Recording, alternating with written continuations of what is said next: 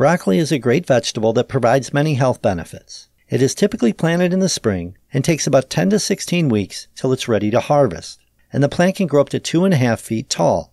One cup of raw chopped broccoli provides about 31 calories, 6 grams of carbohydrates, less than a gram of fat, 2.6 grams of protein, 2.4 grams of fiber, and less than 2 grams of sugar.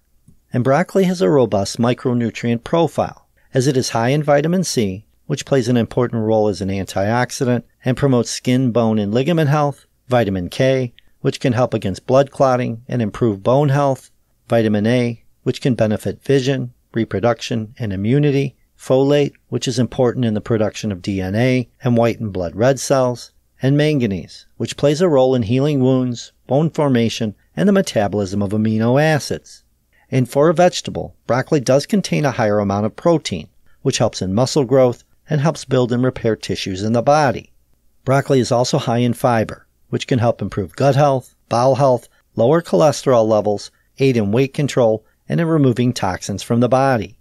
And broccoli is rather inexpensive, as it typically ranges in cost from $1.80 to $2.20 per pound, which equates to about 40 cents for a one cup serving. And broccoli can be eaten raw with a low calorie dip. It can be roasted, steamed, served with pasta, as part of a stir fry, added to salads, or added to soups. The bottom line is that broccoli is a great nutrient dense vegetable that is versatile and easy to prepare. And it can also be satisfying to know that you are consuming something created completely through nature. All right, my friends, hopefully you got something out of this video. I do have sh- sh- more videos right there for you. Till next time, I am out of here.